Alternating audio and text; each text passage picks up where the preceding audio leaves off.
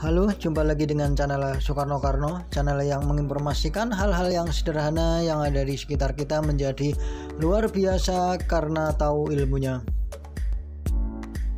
Kali ini saya akan berbagi informasi dengan teman-teman yaitu tentang empat hal pemicu naiknya asam lambung yang perlu kita waspadai.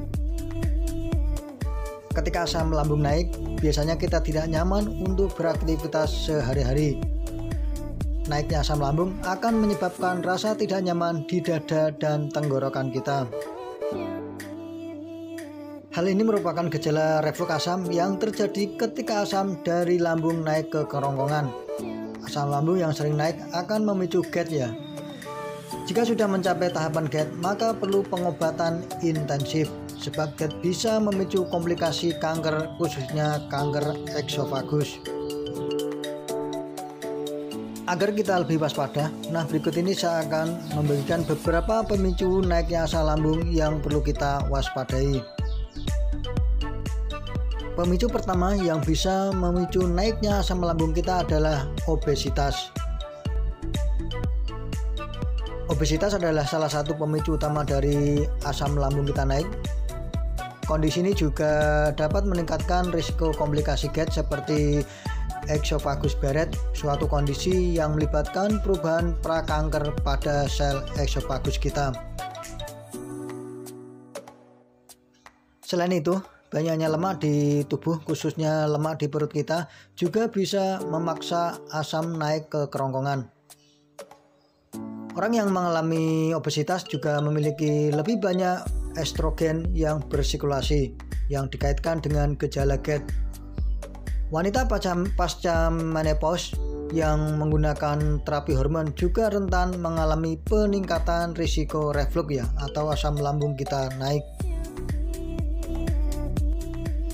Pemicu yang kedua yang harus kita waspadai karena bisa meningkatkan asam lambung kita naik dengan cepat adalah makan porsi besar dan langsung kita berbaring ketika kita mengkonsumsi makanan dalam porsi besar dapat memicu naiknya asam lambung.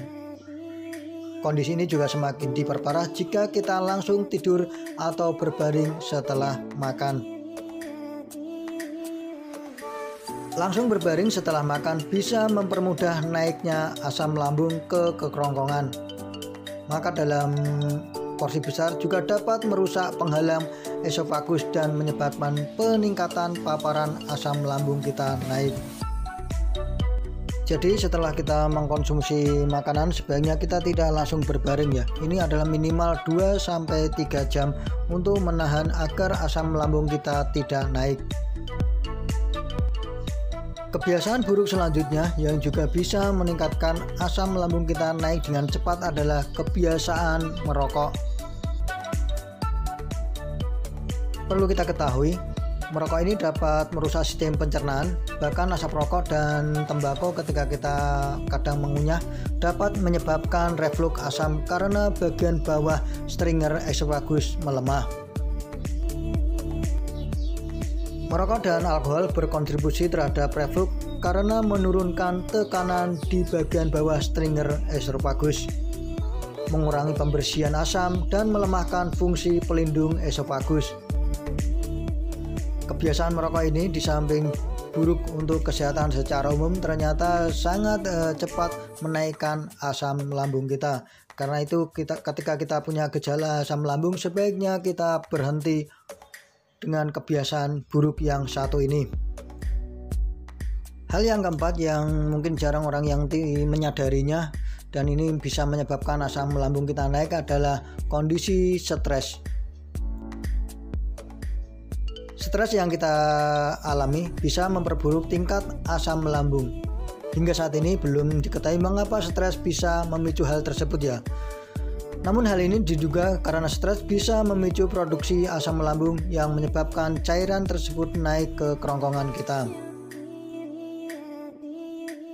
Stres ini juga bisa memicu perilaku yang lain yang dapat memicu reflux asam ya, seperti merokok, minum alkohol, dan makan yang berlebihan. Itulah empat hal yang perlu kita ketahui dan kita waspadai karena bisa meningkatkan asam lambung kita naik Asam lambung yang naik bila tidak kita kontrol bisa menyebabkan penyakit yang lebih parah bahkan e, bisa menimbulkan kematian ya. Mungkin ini yang bisa saya sampaikan. Bila ada kekurangannya saya minta maaf. Sekali lagi jangan lupa like dan subscribe-nya biar informasi dari channel saya yang sangat sederhana ini semakin bermanfaat untuk orang banyak. Sekian terima kasih dan